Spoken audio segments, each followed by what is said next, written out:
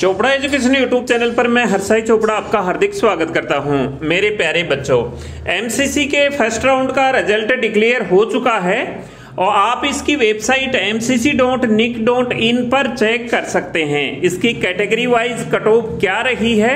ये मैं आपको नेक्स्ट वीडियो में बता दूँगा। आप अपना एक बार अलॉटमेंट चेक कर लें कि आपको कौन सी कॉलेज अलॉट हुई है। तो आप इसकी एमसीसी की वेबसाइट पर एमबीबीएस बीडीएस का रिज़ल्ट चेक कर सकते हैं। ये रिज़ल्ट आ चुका है। ये 29 को आना था, लेकिन ये रिज़ल्ट एडवांस में आ चुका है, क्योंकि एमसीसी के पास अभी टाइम था, जो दो दिन इन्होंने बढ़ाए थे वेरिफिकेशन ऑफ़ इंटरनल कैंडिडेट के लिए। तो वो टाइम की वजह से इन्होंने पहले ही ये रिज़ल्ट अपलोड कर दिया है।